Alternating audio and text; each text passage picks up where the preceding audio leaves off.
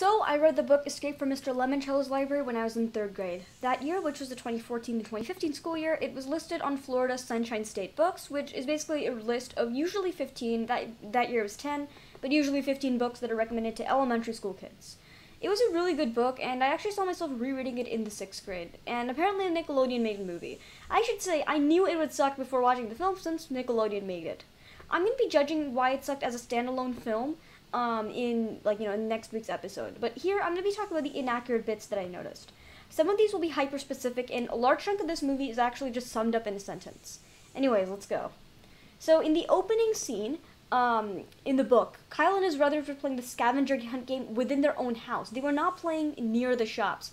And Kyle actually got grounded because he jumped through the rose bush in the yard and he broke the window to get into the basement. He did not break the window of their parents' auto mechanic shop if anything, the occupation of the parents was actually unknown in the book. There was no mention of an auto mechanic shop anywhere. Also, Kyle in the book was actually a fan of Lemoncello's video games, but in the movie he does claim he isn't much of a video games person. I don't understand the point of just having him say that. Like, there's just no point at all, since it isn't even like that. Um, like, you know, him saying that he is a fan of Lemoncello's video games and stuff as well. If anything, look, in the book when he says that he's a fan of Lemoncello's video games, it just adds more to his character that he's a huge fan of Lemoncello in the book uh, or in the movie when he just says that he is not too much into video games um, that just that's just like well what's the point of saying that? Like because it's not even specified if Lemoncello makes video games. Another thing in the book they don't just have some random drone with a hologram flying into the class um, and announcing the essay competition. See the hologram of mrs tobin is not introduced until later on in the book when they're actually in the library also, Kyle blows the essay and he just writes two sentences about balloons on the bus because he completely forgot about the fact that there were um, there was an essay competition. In the movie, he is seen randomly drawing pictures and stuff because he couldn't think of anything. That's not how it came. That's not how it was. Another thing, Mrs. Tobin, she actually has a 60s haircut and cat eye glasses, although in the hologram of her did look pretty similar to how I did imagine her to be. Um, not completely accurate, but very similar. Um, Haley Daley, she was in fact the popular girl, uh, but in the book she had blonde hair and blue eyes. Very minor detail, but she doesn't really fit the description. Another thing, she was way more subtle about her popularity. Like, she was not over exaggerated in the book. Also, Akemi Hughes didn't completely match the uh, description since she had jet black hair and freckles in the book, and I'm pretty sure she was half Asian, half Irish. Again, minor detail that I don't care about too much, but this video is counting every inaccurate detail in the movie. So the winners for the essay contest, they're actually announced in the school's auditorium. They're not uh, like unlike the movie where they're announced directly outside of the library because they need to go home and then get permission from their parents to attend the lock-in, and the lock-in takes place a few days later. The lock-in that's like the uh, actual like you know game and all that. Another thing, this actually makes uh, the fact that they need to get permission from their parents. This makes everything way more accurate because um, like this just makes the entire like it made the book more accurate, since that's just how like that's how things work. You need permission slips. Another thing, Kyle ended up getting grounded, so he had to get permission from his parents and all that.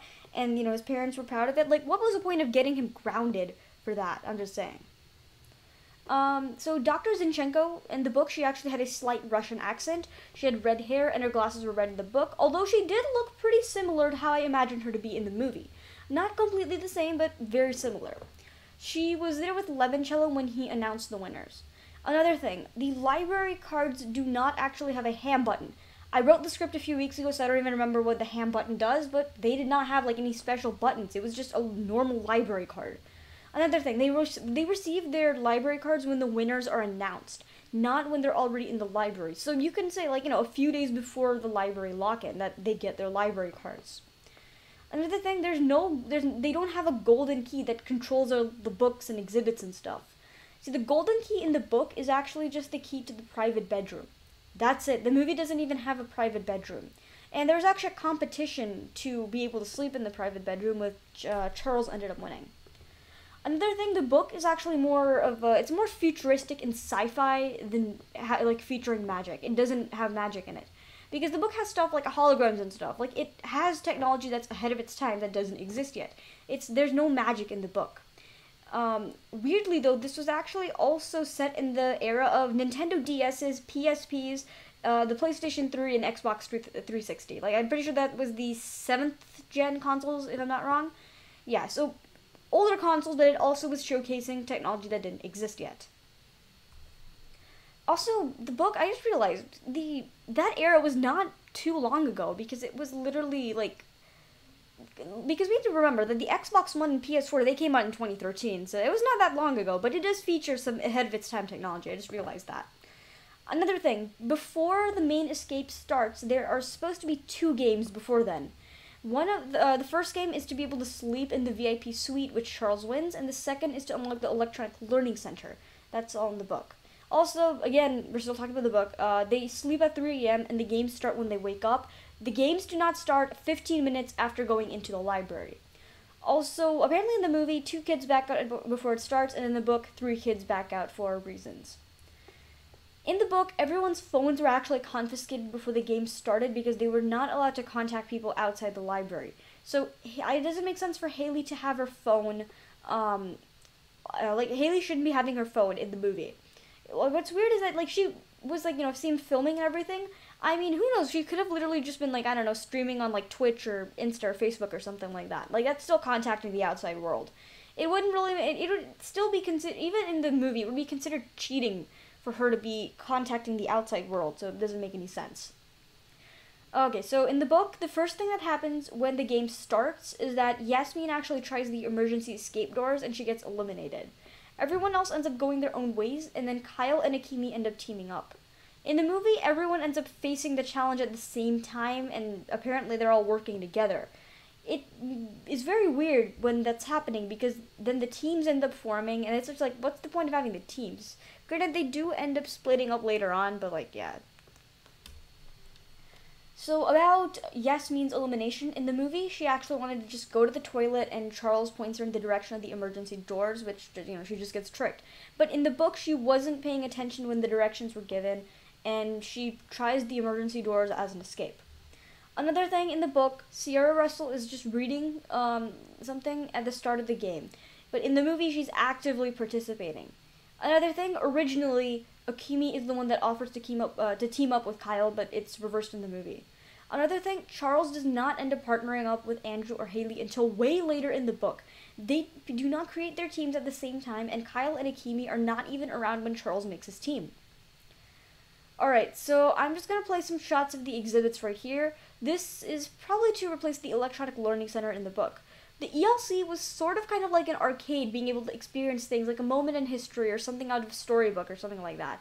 And there were arcade machine like things like VR and like you know that type of stuff, holograms, projections, all that. It's a little bit hard to explain, but just read this quote on the screen.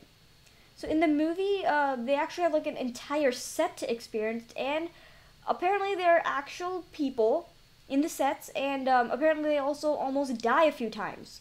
That does not happen in the book. There are probably OSHA violations and acts of child abuse that happened in the movie.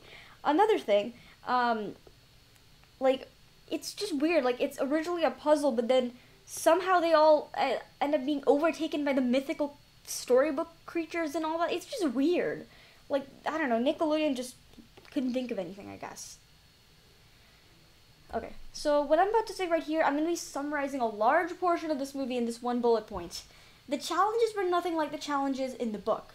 And again, people don't almost die. There's nothing remotely dangerous in the book. Lemoncello and Zinchenko do not need to break into the library and make sure no one dies. Also, what the hell is the shot? This is not how people are eliminated. Like, do you idiots have any idea how much, how many OSHA violations this probably is? Even then, that just looks risky. You can't put, you can't have kids near that. Like, come on. Um, so in the book, Haley does not get eliminated at all. She ends up joining Kyle's team and they win. The same thing goes for Miguel. Uh, Miguel was also given, like, he was also eliminated early on. Andrew is actually eliminated for stealing Sierra's library card in the book, even though Charles bullied him into doing that. Speaking of Charles, he does not get a redemption arc. Um, in the book, at least, he does not get a redemption arc. He gets eliminated near the end because he was caught playing dirty. Uh, just pause the screen to, to read this segment of the book. Yellow is Lemoncello's lines. So in the end, Haley is the first to get out of the exit, and the first thing she's supposed to be doing is communicating with the crowd and praising her team. Obviously, that does not happen in the movie since they decided to eliminate her early on. So I just feel like Charles could have been seen sucking up to the staff more often. Sierra could have just been seen distracted, like reading in more shots, and Miguel could have been way more, um, like kind of enthusiastic about reading and all that. Um, well, like you know when he was talking to to his peers, and basically just the characters need to be more realistic.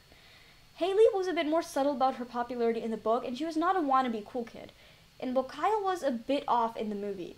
About Haley, she was actually made out to be a dumb blonde for the majority of the book until she joins Kyle's team and is seen solving puzzles and helping them out big time. The reason this happens in the book is to break the dumb blonde stereotype. I feel like Nickelodeon should have gotten this bit right at least, since the movie is clearly advertised to kids. Basically, by breaking the dumb blonde stereotype, this teaches kids about how stereotypes are not always true and to not judge a book by its cover. That's very important to teach kids since I just feel like the dumb blonde character is overused so many times. Just, you know, in movies, books, and TV shows. To be honest, I was literally just finding so many things wrong with this movie the first time I watched it, and it really just ripped off of one of the most creative children's books I read as a third grader. This film did not do the book justice. This is movie analysis, and I will see you in the next video.